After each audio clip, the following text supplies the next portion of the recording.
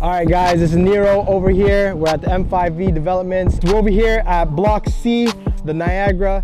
This is your investment, guys. This is the future. Phase two is coming. Phase three is coming. We have phase four as well.